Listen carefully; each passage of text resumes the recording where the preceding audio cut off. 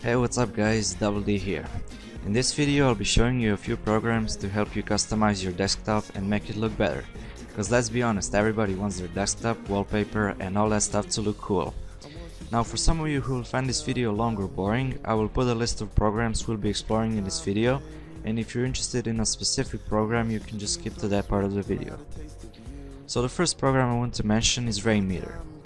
When you install this program, it pretty much changes, changes your whole desktop interface.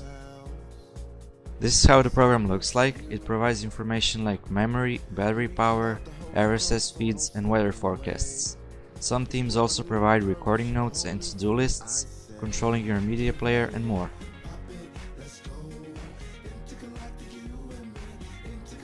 There are a lot of skins or themes you can download from the website customize.org slash rainmeter.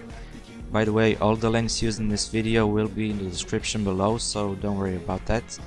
Uh, as you can see, Rainmeter can also change the appearance of your taskbar. There's a Windows 8 theme too, so you can make it look like you have Windows 8 without installing it.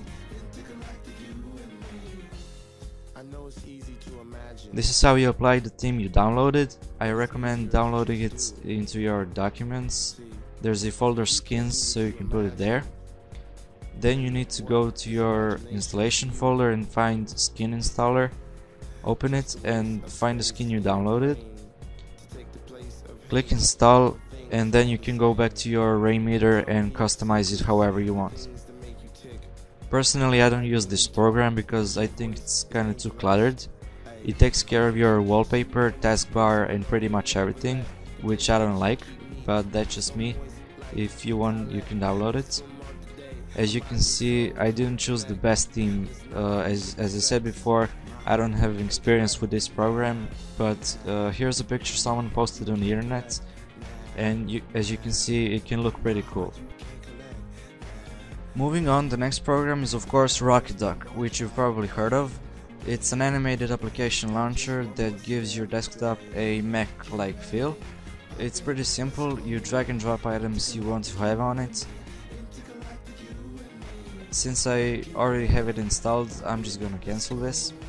Uh, it looks like this, as you can see you can access your favorite programs and folders really quick and easy. Uh, there are a lot of things you can customize like positioning, behavior, style, icons appearance and more. But the main thing is you can select different themes.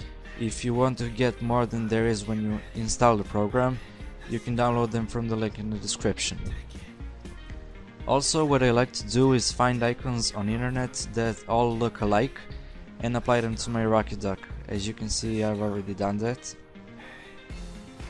Similar programs are Nexus and Desktop Icon Toy.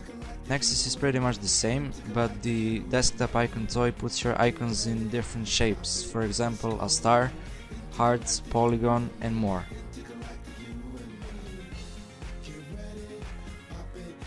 The next thing you can do to customize your desktop is change the Windows button. There's a small program for this, you can find the Windows button you want to use and change it in only a few steps. As you can see mine is already changed, but I'll pick a random one just to show you how it works. I wanted to mention this because it's really easy, but it really changes the looks of your desktop. Of course, if you want you can always restore the original button, and that's it. I think it looks pretty dope.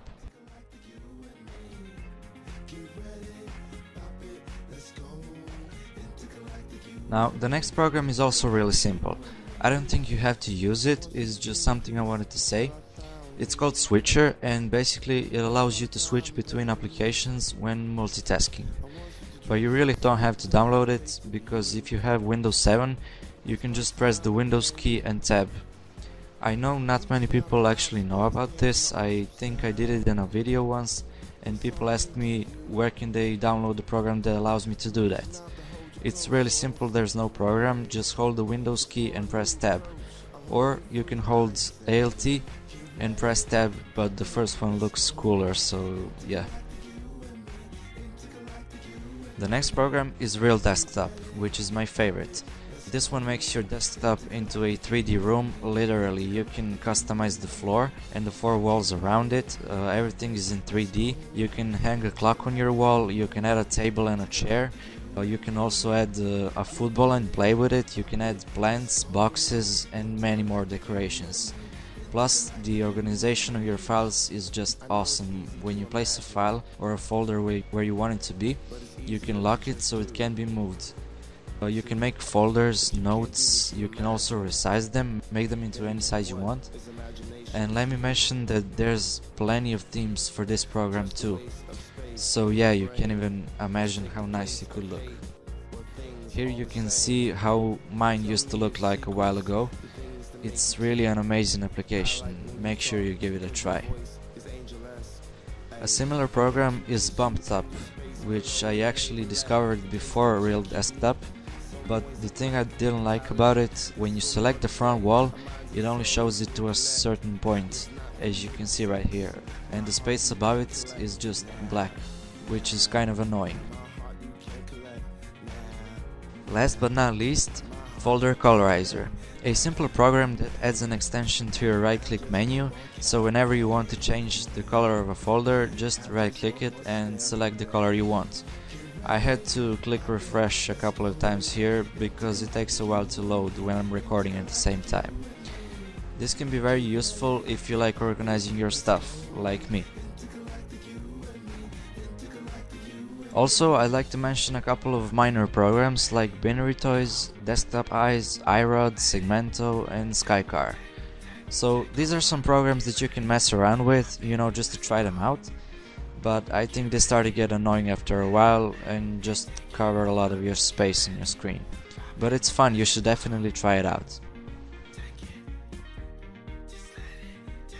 So that's it guys, I hope you liked the video and I hope you found what you were looking for. Remember all the download links are in the description. If you have any questions, leave them in the comment section down below. And that's it, stay tuned for more, peace.